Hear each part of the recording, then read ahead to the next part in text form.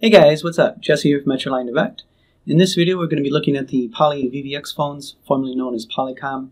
There's two different versions of this phone. There's the generic SIP version, which connects to a generic SIP server or hosted provider, and then there's the version that connects to a Skype for Business system.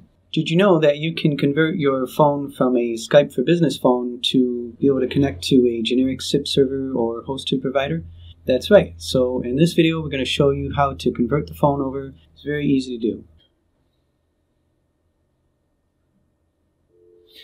Okay, so as the phone is booting up, we're going to press cancel, setup, enter in our password. The default is 456. Press OK. Press down until you get to base profile. You can see the base profile is set to Skype. We're going to press edit Press the down arrow button, that changes to generic. Press OK. Press exit. And then save and reboot is highlighted. We're going to press select. That will reboot the phone. When the phone boots up, it's going to be in generic SIP mode. Okay, so now the phone is booted up and it looks like it's in generic SIP mode.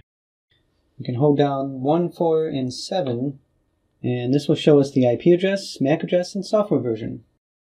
Okay, so now you know how to convert your Poly Skype for Business phone to generic SIP. Don't forget to like and subscribe.